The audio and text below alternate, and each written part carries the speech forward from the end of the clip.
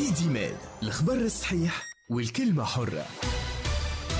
صباح النور على سلامتكم. أهلا وسهلا ومرحبا بكم. ميدي ميد 3 25 أكتوبر 2022 توا نص النهار وأربع دقائق متواصلين معكم من توا حتى الماضي ساعتين ساعتين. نرجعوا فيهم بالقراءة والتحليل على آخر مستجدات الوضع في بلادنا. équipe العاده ترافقكم معاذ في الأعداد بالاحسان من وراء ال console. محمد الطاهر في التصوير والإخراج الرقمي ايمن مداحي إبراهيم الوسلاتي والكاتب والباحث السياسي بالحسن يحيوي من قدام الميكرو. بالحسن صباح النور. صباح الفل والياسمين. أهلا وسهلا بكم الساده المستمعين. أه برهو. صباح النور صباح النور كافة المستمعين والمستمعات مرحبا بك إيمان بعد غيبة غدو الحي باش نحكي لك على ما قام به اللطفي المنقلب في غيابك وقت اللي يبدأ أيوة. بحضوره باش ما يقولش وأن ولا فقود تهم. باش نتركوا المساء المجال باش. يرد على ما سأقوله غدا. عقيدة الانقلاب آه، معناها. طبعا. فهمتني؟ ما يسألش. باش ما؟ نهضمولوش حقه. غدوة ونحكيو وإحنا عنا برشا مادة إعلامية. على ذاك نبداو tout de suite ب آه، لأنه عنده التزام إعلامي آخر. ناخذ معايا مباشرة عبر الهاتف السيد محمد التليلي المنصري. الناطق الرسمي باسم الهيئة العليا المستقلة للانتخابات سي التليلي صباح النور. مرحبا بك إيمان آه، وكل آه، المستمعين وبالضيوف الكرام. مرحبا. آه، خليني نقول سي التليلي جدل كبير رافق قرار الهيئة العليا المستقلة للانتخابات التمديد في أجال قبول الترشحات. الأجال كانت تنتهي انتهت من المفروض أن انتهت البارح 24 أكتوبر حسب الرزنامة اللي أعلنتوا عليها كهيئة عليا مستقلة للانتخابات. لكن كنت أعلمت أن وقع التمديد في أجال قبول الترشحات حتى الخميس بعد غدوة معناها 27 أكتوبر 2022 السؤال الأول ليلى المنصري هذا قرار للهيئة العليا المستقلة للانتخابات وإلا تم اتخاذه بالتشاور مع السيد رئيس الجمهورية؟ شكرا. آه، في الواقع أنا بيدي مستغرب علاش الناس مستغربة من التمديد؟ مش أول مرة. في كل مسار انتخابي نقوموا بالتمديد إحنا. في هامش نتاع يوم يومين تحكم فيهم المجلس المجلس وبدون المساس بالرزنامة في مواعيدها. يعني الرزنامة ما بقاش المساس بها. أمر عادي إحنا ديما نمدوا في التسجيل في قبول الترشحات وفي هو علاش؟ معناها ما عندنا حتى علاقة. أي إجراء ناخذوه تولي تدخل الرئيس ما نتصورش أنا الرئيس معناها نتصور زعما الرئيس آه، فاضي لتفاصيل مثل هذه باش يتدخل فيها معقولة معناها. آه، معناها ساعات بالحق ساعات نستغرب. أنا في وضعيات ما عندها حتى علاقة هذه ولاية عامة للهيئة. آه، معناها في في جانب آه، تاع تنفيذ الرزنامه شنو اللي صار وأنه مجلس الهيئة بطبيعة الحال إحنا بقراءتنا وعندنا الدفاتر بتاعنا الممسوكة. آه عندنا هامش هو راهي فترة بتاع ترشحات تقرأ ككلها. هي راهي فيها فترة قبول ترشحات وفترة بث. خذينا نهارين من البث لأنه كانوا مخ- مخصصين ثمان أيام للبث. أصبحوا معناها فقط ستة أيام للبث وهو أجل كافي لأنه هيئتنا الفرعية يوم بيوم ويقروا في الملفات معناها ما يش إشكال. شفنا وأنه اولا شنو هي الغاية هي من إجراء الانتخابات؟ نعملوا فيها المترشحين. المترشحين اللي شفنا نحن اليوم اللي قبل مقدمين 891 ملف مم. فيهم تقريبا 600 فقط اللي هما جابوا ال 400 تزكيه معناها في خصوص العدد. مم. لو كان مش لو كان ما مددناش بالنهارين هذوما كانوا أكثر من 200 ملف باش يترفضوا شكلا هذه كإجراء أولي. اثنين آه ثم آه دوائر انتخابية ما فيهاش مترشحين أصلا في بقى- خليني في النقطة هذه خل النقطة هذه في, في, تونس هي الدوائر الانتخابية إلى حد الآن سجلت صفر ترشحات سي التليلي أي تو من بعد نعطيك الإحصائية. كاملة نتاع الدوائر ما يسالش. نعطيك التبرير تفضل اللي وقع به آه، الت- ال- التمجيد التمديد في أجل في أجل نتاع قبول الترشحات نتاع يومين يعني ماهيش حاجة كبيرة مم. الغاية شنو هي؟ الغاية وأنه يلزمنا نتفادوا إمكانية نتاع انتخابات جزئية فيما بعد هذا شنو يعني؟ يعني وأنه ماذا بينا كل الدوائر الانتخابية تكون فيها مترشحين. كانوا قبل خمسة دوائر انتخابية ما فيهاش ترشحات. أصبح هناك دائرة فقط هي دائرة إفريقيا اللي ما فيهاش ترشحات. هذه على الأقل قع فيها التقليص بشكل كبير ويمكن التمديد نتاع ثلاثة أيام هذوما باش يمكن أن آه تكون الدوائر كلها فيها ترشحات. وكانت عندنا قبل ما يقارب على عشرة دوائر فيها ترشح وحيد. ترشح وحيد راهو ما عنده حتى معنى بالنسبة لنا إحنا راهو في كل الحالات الفوز نتاعه مضمون. ماذا بينا يكون حد أدنى زوز مترشحين باش على الأقل ننظموا منافسه ديمقراطية على الأقل مم. أصبح الآن زوز فقط دوائر بلديه آه، دوائر انتخابية فيها مترشح وحيد اللي هي في الخارج اللي هي نتاع أستراليا ونتاع آه أي نتاع أستراليا ونسيتها الدائرة الأخرى فيها. ترشح وحيد معناها كانوا 10 آه الأمريكيتين مم. آه وهو. كذلك. معناها مازالوا زوز فقط اللي فيهم ترشح وحيد. آه، زيد حاجة أخرى إحنا إحنا ديما لو نعلنوا على تمديد بفترة قصيرة لكن نعلنوا عليه في اليوم الأخير ليش؟ على خاطر إذا كان نعلنوا عليها مسبقا بطبيعة الحال باش يكون ثم تراخي للمترشحين ويعملوا اللي هي ثم مدة تاع تمديد. إحنا وهذه جابت نتيجة نحن يوم أمس. آه، قبل الإعلان معناها يوم قبل الإعلان على التمديد آه، قبلنا 351 مطلب ترشح وهو رقم قياسي هذه زادة مهمة. ثم يلزمنا نمكنوا آه، شفنا بعملية حسابية الهيئة قامت بأكثر من 500 ألف عملية تعريف بالامضاء بالنسبة للتزكيات. مم. فيهم 270 ألف تزكية ما زالت التركيلي مشتته بين المترشحين مازال ما وقعش استعمالها في المطالب. معناها هذه فترة نتاع نهايرين ثلاثة هذه أنا متأكد وأنه باش آه، آه، نمكنوا المترشحين هذوما. من أنهم يسدوا ال- ال- الشغورات الناقصة في التزكيات من حيث العدد ونجموا حتى يصحوا لأنه ثم حتى آه، مزكين باش تكون عندهم آه، موانع. نتاع نتاع التزكيه ثم شكون مزكي من المترشح ثم شكون ما عندوش صفة الناخب ثم شكون ماهوش مسجل في الدائره المترشح فيها المترشح. هذه كلها معناها خاطر الغاية. هي أن نمنعوا الملفات من آه، من الرفض ونضمنوا أكثر عدد ممكن من الدوائر الانتخابية فيها مترشحين. هذه هي الغاية الأصلية. وهذه هي شنو الأسباب اللي أدت إلى آه، التمديد بفترة قصيرة بدون مساس بالرزنامه موش أول مرة. اي ولكن ولكن يقول لك سي التليلي الخبير. آه، أليس في ذلك مس من مبدأ النزاهة والعدالة آه، بين كل الأطراف المتنافسة؟ بمعنى وأنه آه، اش معنى واحد؟ معناها حط les efforts نتاعو الكل وبذل كل المجهود باش يخلط في الاجال وباش معناها يقوم بكل الإجراءات كما ينص عليها القانون؟ واحد ياخذ الفرصة نتاعو للتدارك و و و يقول لك بين بعدها المرحله نتاع البت في الترشحات واسقاط الترشحات وقبول الآخر. شنو هي الجدوى نتاعها إذا كان اليوم يقول لك نمدد أنا كهيئه باش نحرص باش أنه الجميع يكون في مستوى الشروط نتاع الترشح.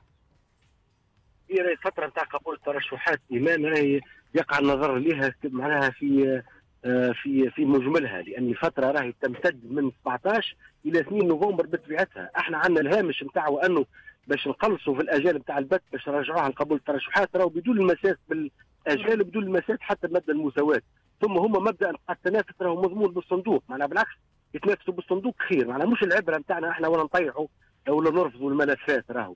ماهيش هذيك الغاية. بالعكس إحنا ماذا بينا كل الملفات تكون معناها مستوفية كل الشروط الشكلية. والموضوعية ومن بعد يتنافسوا بطريقة ديمقراطية وفقا للصندوق هذيك هي الغاية. خاطر الغاية من الانتخابات هي معمولة للمترشحين أصلا والغاية هي أن الهيئة يلزمها تسهل. مش الصعب إحنا ثم صعوبة نتاع 400 تزكية. باش إحنا نزيد نصعبوا عليهم. بالعكس أنا كنت متأكد وأنه لو كان ما مددناش يمكن كانت تكون القراءه عكسية. علاش الهيئة ما مدتش بالعكس السؤال يطرح علاش ما نمدوش؟ إذا كان إحنا عندنا هامش نتاع الهايرين ولا ثلاثة بدون المساس بالرزنامه شنو المانع؟ معناها أمر عادي جدا. آه الغاية هي اللي حكيت عليها كلها مم. والمترشحين راهو مبدا التكافؤ الفرص بيناتهم. ماهيش تضيع على خاطر هذه باش يكون ثم آه، تنافس ديمقراطي يوم 17 ديسمبر. أه؟ آه، معناها هذاك هو شنو الغاية الأساسية بالنسبة نحن اللي قمنا بها. ما عندها حتى علاقة رئاسة الجمهورية بالموضوع. به. والهيئة راهي عندها قرار سيادي في الخصوص هذا.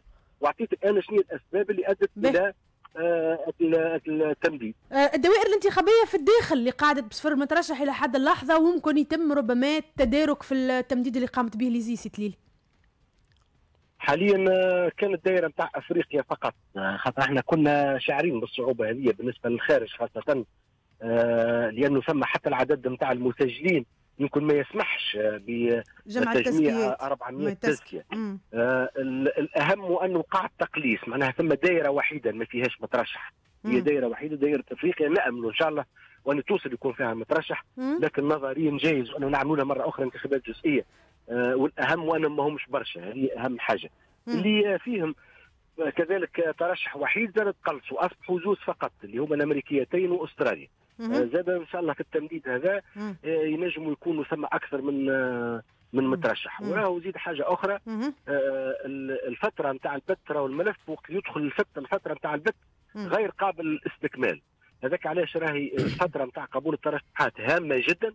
باش الناس آه، آه، تكمل كل الشكليات ال- نتاع الوثائق المستوجبة نتاع خاصة العدد نتاع التزكيات لازم ما يكونش أقل من 400 ان فوا ملف دخل للبت أقل من 400 راهو باش يكون المآل نتاعو بالرفض. السقوط تفضل سي بالحسن تحياتي سي التليلي بربي فيما يتعلق بالتزكيات أنت تو حكيت قلت يمكن حتى عدد المسجلين في ال- في الانتخابات ما يوصلش إلى آه، ما- إلى إلى 400 مم. وبالتالي الصعوبة هذه باش نلقاها موجودة في الدوائر اللي موجودة لبرا خاصة ونحن نتذكروا أنه ثم نواب دخلت البرلمان السابق أو الأسبق وهي ما جابتش 400 في التصويت فضلا عن أنه يكون عنده تزكيات بتاع 400 هل أنه ثم فكرة عند الهيئة أنه يقع التقليص في عدد التزكيات خاصة بالنسبة للدوائر في الخارج اللي تلقى صعوبة واللي في مساحة جغرافية ممتدة كما الدائرة بتاع أفريقيا اللي حكينا عليها كما حتى دائرة الأمريكيتين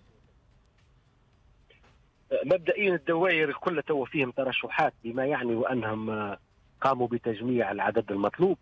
آه، قط أفريقيا صحيح وهذا راهو حقيقة أنا معك وأنه في الخارج راهو اشتراط 400 آه، معناها أمر صعب جدا. آه، نظريا إذا تكون تبقى دائره حسب القانون ما فيهاش ترشحات يلزم الهيئة بعد الإعلان عن النتائج النهائية تقرر انتخابات جزئية. في الحالة هذه وإذا كان السبب الرئيسي هو يعود إلى عدم التمكن من تجميع التزكيات مؤكد وان توقع مراجعة المرسوم في خصوص عدد التزكيات بالنسبة للخارج على الأقل. هذا أمر حتمي. و- لكن مستوى بعد الساعة ما نضبط القائمة النهائية نتاع المترشحين إن شاء الله نحن يكون ثم مترشح. إذا ما تماش الحل موجود إن شاء الله. وإن شاء الله ما تكونش برشا دوائر. أنا متأكد مش باش تفوت دائره آم، في خصوص الانتخابات في الخارج. مم. شكرا لك سيد محمد. لي المنصري الناطق الرسمي باسم الهيئة العليا المستقلة للانتخابات. شكرا على جملة هذه الإيضاحات. ووضحت المسألة إبراهيم بعد ان الجدول شاء الله اللي ولكن التمديد. سامحني في البداية نحب نترحم على مفتي الديار التونسية السيد عثمان بطيخ اللي وفاه الأجل المحتوم لمصباح مم. على سن 81 سنة. هو تحمل هذه المسؤولية في عهد ثلاثة رؤساء الرئيس بن علي والرئيس الباجي قيد السبسي والرئيس الحالي قيس سعيد. وراو مفتي الديار التونسية وهو راجع بالنظر إلى رئاسة الجمهورية. تتصفح صفحة رئاسة الجمهورية النعي ما فماش. صفحة رئاسة الحكومة ما فماش نعي. صفحة وزارة الشؤون الدينية ما فماش نعي. أنا أستغرب على كل ما ترحموا عليه إن شاء الله ونعزيه وعائلته. نرجع أنا والله أنا كنت باش نحكي عليه الموضوع هذا في الدخلة متاعي ولكن أو يعني أنت استبقت الأمر وبارك الله في ست ليلى المنصري ونحيوه كان ضيفنا والله يعني في مجهود على الأقل مم. التواصل. مع وسائل. مم. باش يوضح ما يمكن توضيحه وإحنا قلناها من الأول ان راهي المسألة هذه ستكون بصعوبة كبيرة وكبيرة جدا فيما يتعلق بالتزكيات وحتى الشروط بتاع التزكيات نصفهم من النساء وربعهم من الشبان دون 35 سنة وقلنا راهو فيما يتعلق خاصة بالدوائر في الخارج راهو باش نلقاو صعوبة وصعوبة كبيرة جدا. انت عندنا تقريبا 600 مسجل في الدفاتر الانتخابية في إفريقيا وتطلب منه 400 400. كيفاش باش يلمهم.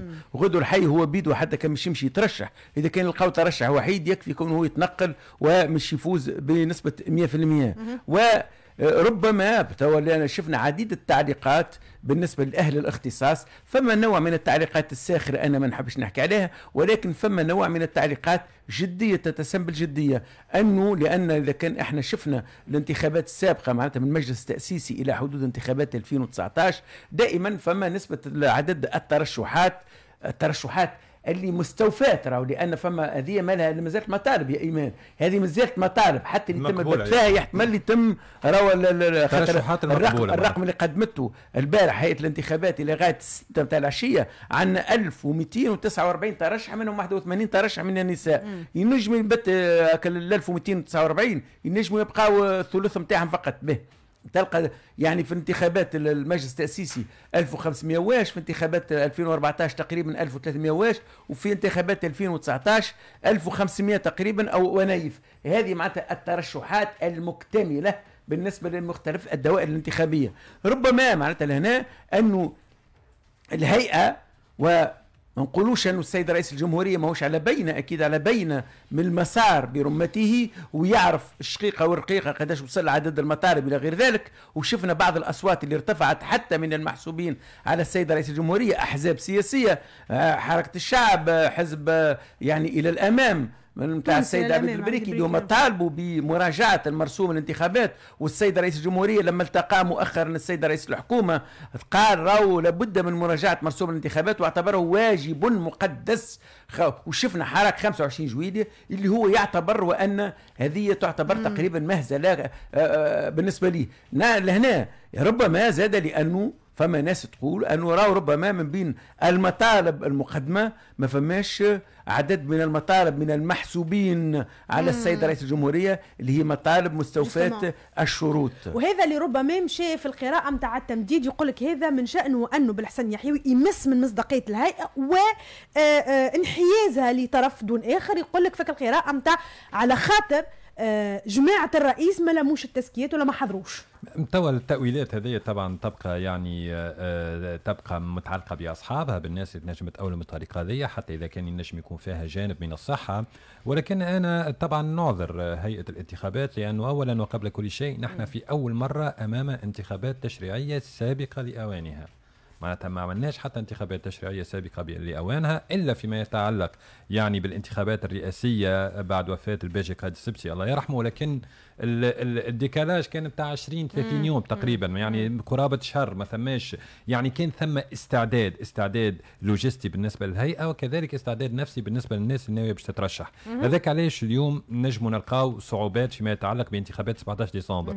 هذا اولا. ثانيا آه، آه، فيما يتعلق بحديث رئيس الجمهورية على التعديل المرسوم الانتخابي أو على تأجيل الانتخابات. أكثر حاجة نجموا نلاحظوها آه، على رئيس الجمهورية منذ 25 جويليا هو أنه آه، الرجل يلتزم تماما بجملة المواعيد اللي يضبطها. وبالتالي عندما يتحدث عن تعديل مرسوم الانتخابات إنما يحيل هذا التعديل إلى المجلس التشريعي القادم اللي هو آه، آه، اللي هو يعني المجلس اللي, اللي اللي سيقع انتخابه في 17 ديسمبر كيف المرسوم الانتخابي؟ كيف الدستور اللي ترك الباب مفتوح أمام إمكانية تعديل الكثير من بنود الدستور على عكس الدستور بتاع 2014 اللي كان عندنا مسكر ومزير وما عندناش منين ندخلوا له ومنين نعدلوه وبالتالي آه أنا نتصور أو أتمنى مش نتصور أو أتمنى أنه باش نراو فترة شبيهة بالفترة التأسيسية ولكن الفترة القادمة باش يلزمها يلزمها تستفيد من كل الأخطاء اللي وقعنا فيها باش ما نلقاوش رواحنا القدام أمام. إمكانية أنه آه، نحيي كل شيء ونعاودوا نبنيو من الجديد ما ثماش حتى مشكلة في التغيير ما ثماش حتى مشكلة وقت اللي نغلطوا نصلحوا ما ثماش حتى مشكلة أن نستفادوا من أخطائنا أكبر مشكلة أن نبروا الأخطاء متاعنا ونصر عليها ونحيل آه، يعني كل سلبيات هذه الأخطاء على جهات وعلى أطراف ديما في تونس للأسف تبقى مجهولة وتبقى ما نعرفوهاش. نتصور أنه اليوم إذا كان تنجح الانتخابات نتاع معناها 17 تنجح. مفهوم النجاح شنو معناتها معناها؟ معناتها حاجتين حاجتين أساسيين. إيه. فيما يتعلق بالترشحات أنها لا تبتعد كثيرا عن الأعداد اللي كانوا ذكرنا فيهم إبراهيم. يعني أن تكون في 1500 حجم في حجم 1600. في حجم الترشحات اللي لقيناها قبل على خاطر أنا ما نتصورش حتى الأحزاب اللي أعلنت المقاطعة بتاع الانتخابات بتاعها ما نتصورش أنه هذه المقاطعة جدية. لأنه يا قبليا يا بعديا يعني يا ثم شكون ماشي مترشح بصفة سوا ديزون مباشره بصفة أنه هو مستقل ولكن من بعد يظهر.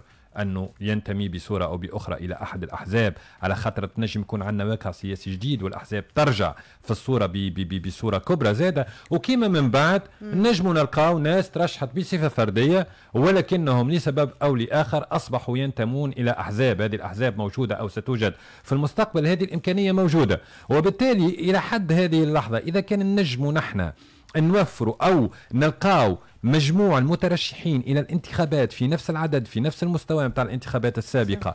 ثم الأهم من ذلك إذا نفس الكتلة الانتخابية النشطة على الأقل على الأقل الكتلة الانتخابية النشطه اللي هي في حدود 3 ملايين في كل الانتخابات اللي شهدتها تونس في العشر سنين الأخرانيين. يشاركوا في الانتخابات التشريعية هذا يعني أن ما زلنا نحافظوا على الحد الأدنى من المسار نحكي على الديمقراطي. التصويت. نحكي على التصويت شنو حاجتين. معناها قلت خ- الترشح قديش قديش؟ تقريبا في حدود 3 ملايين تقريبا. لكن سامحني يا بالحسن لا 3 ملايين على 7 ملايين. ناخب ما نجيش نفس الشيء نعملها أنا على 9 ما, ملايين ما. يتبدل حتى شيء ما يتبدل حتى شيء لأنه لأنه تسجيل الناخبين بالنسبة لليزي ما صارش بصورة طوعية راه ليزي جات الناس كلها اللي عندها سجلتها. اللي عندها سجلتها ماهيش بصورة طوعية قبل كان التسجيل. كان التسجيل بصورة طوعية ما يتبدل حتى شيء النسبة ما نحكيوش عن النسبة نحكيو عدديا لأن من 7 ملايين ولينا 9 تسعة ملايين. بالنسبة لي أنا راهو هذايا هو الفشل الأكبر أنك أنت تدفع. نسبه القبائل معناها. لأنه لأنه نحن شنو نحكيو في السنوات الأخيرة كل؟ نحكيو على. الأغلبية مم. الصامتة. ونحكيو على نسبة العزوف اللي كانت تقريبا ما تبدلتش أكثر من 50% وصولا إلى 60% إذا كان آه، صانع القرار السياسي أو اللاعبين السياسيين اليوم عاجزين على أنهم يدفعوا بالأغلبية الصامتة لكي تتحرك ولكي تاخذ حقها وواجبها. لأنه الانتخاب ما هوش حق برك واجب أيضا. بالنسبة لي أنا العزوف العزوف يتمثل في الورقة البيضاء. ما يتمثلش في أنه أنا ما نمشيش. كسلا أو عدم اهتمام أو غيره. إيه لا. لكن موقف المقاطعة نجم يكون موقف خاطر بالورقة خاطر- البيضاء. اي ما خاطر انت لما نجمش قراءتك أنت لا استنى استنى. إيه، قراءتي أنا بالأحسن- ماهيش قراءة لا. بالحسن خاطر باش تحسب في taux de participation تو أنت كي ما قبلش قلت. قلت اعتبروا نجاحا. استنى لا أي. عاد نفس نجاحا الحكاية نفس لا ما تنجمش باش. تعملهم 3 ملايين من بعد. معناها أنا. موقفي بالله باش يجي في صالحك أنت. لا يعتبر موقفك ماهوش صحيح. نفس الحكاية اللي تحكي فيها تنسحب على العزوف. اللي ما يمشيش ينخب اللي ما يمشيش ينخب كسلا. أو لأنه غير مهتم. أنا من بعد نجي يقول نسبة العزوف في حدود 70% ماهوش صحيح. الانتخابات. في بلدان العالم الكل. الأوراق البيضاء البيضاء البيضاء. هي. هي اللي تعكس هي اللي تعكس نسبة العزوف وتعكس موقف سياسي رافض لهذه أنا الانتخابات. أنا نقص أنا نطيح في نسبة الاقبال ونسبه هي المشاركة. هذه الحلول. السهلة. الحلول السهلة. الناس اللي تحب تركب على نسبة العزوف. الناس اللي عندها قواعد شعبية وتحب تضرب. انتخابات باش تضرب. نحكي على تجارب مقارنة مش في تونس. مش كان نحن في تونس عملنا انتخابات راه العالم الكل يعمل في الانتخابات. الأوراق البيضاء هي التي تعبر عن المقاطعة وتعبر عن الموقف السياسي.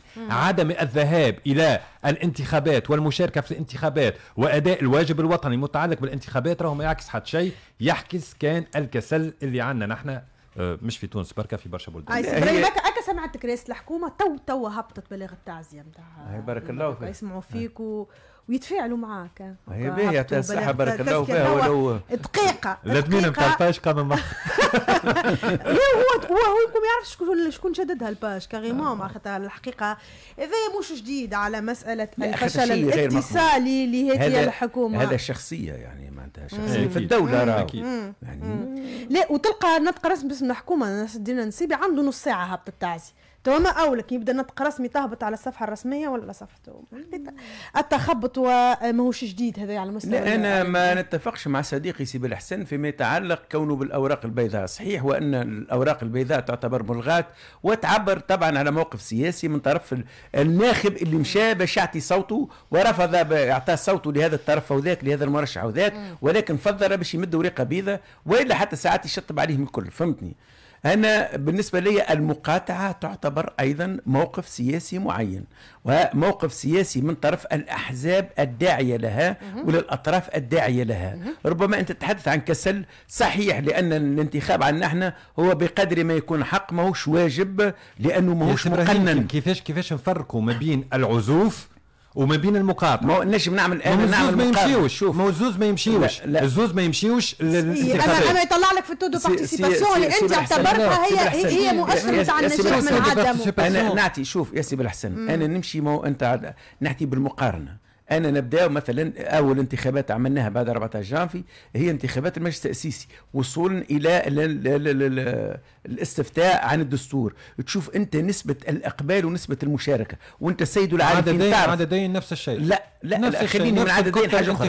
لا. سامحني من عددين شوف. عام 2011 عدد الناخبين المسجلين كانوا في حدود 4 ملايين و700 donc وقت اللي مشاو تقريبا لا، 2 مش ملايين و800 انذاك يعني تعتبر العدد محترم عدد الناخبين في سنة ليه؟ تو نحكيو 2014 عدد ولا ما ارتفع. نخلطوش لا، ما نخلطوش إذا. كان نحكيو نسبة نحكيو نسبة أي. إذا كان؟ نحكيو ما عددين نحكي نحكيو. عددين ووقت اللي نحكيو نسبة. ما نجموش نحكيو نسبة من العدد النسبة من العدد يا أخي مش فيهم نسبة أعطيني عددين قداش مشاو وشاركوا خلينا من عددين لا شنو الفرق؟ بالنسبة خلينا والعدد نعرف. فرق كبير؟ وقت يبدا عندك 9 ملايين مسجلين أي. وتكون راهي ملايين. المشاركة 25% شو 3 ملايين سامحني 30% مش ن- مشاو. مش نفس الشيء وقت يكون عندك 7 ملايين وتكون راهي نسبة المشاركة 50% مو ديما ديما النسبة لا، لا، لا، لا، بالعدد النسبة. نتاع المسجلين أنا ما يعنيني. ما يعنيني عدديا أنا ما يعنيني يعنيني الأفراد عدديا قداش من واحد مشى يشارك في الانتخابات هذيا. في. هذه الاستحقاقات. دائما يمشيوا بالنسب يقول لك فاز قيس سعيد في الدور الثاني بنسبة 72 تحكي في موضوع صدق. donc الناس شد. أعطيني تو شكون شادد الرقم الصحيح نتاع الأصوات هو المصرحه هو اللي فاز سعيد. الناس اللي شاركت أنا إيه؟ مانيش نحكي على؟ نسبة الفوز يقول لك أنا 72% نحكي على المشاركة. من الم... من اللي شاركوا من اللي صوتوا وأنا أكيد كان أعطيني واحد واحد يقول لك آه، 3 ملايين واحد يزيد كذا وهي زوز ملايين و777 ألف خلينا خلينا حتى حد ما يعطيك الرقم خلينا هذا. نمشيو نقطة بنقطة خلينا نسكروا ساعة المسألة ذي بعد نهار الخميس مسألة قبول الترشحات ونشوفوا نسبة الترشحات نحكموا عليها هي وبعد وصولا إلى ربما نشوفوا زادش باش يبقى لأنه مرحلة مهمة ما بعد الفرز طبعاً، أنا هو المقبول. قديش باش يقعد في نسبة المقبولين خاصة وأنه ما نعرفش معناها إذا كان سيقع احترام كل الإجراءات نتاع أنه مزكي يزمي يزكي شخص بركة. وكيفاش باش تحسبهم هذوما معناها كيفاش باش. تثبت؟ كيفاش باش تثبت هو وأنه لا زكا كان ضيفنا سي التليلي المنصري وقعد في بلاصة صديقنا بالحسن وقال بالنسبة لنا اللي يجي لول هذاك هو نعتمدوا اي معناها. مسألة التثبت اللي بعد يجي لول معناتها ولا لا بعد نلقى أنا سي إبراهيم الوسلاتي زكى إيمان وزكى بالحسن.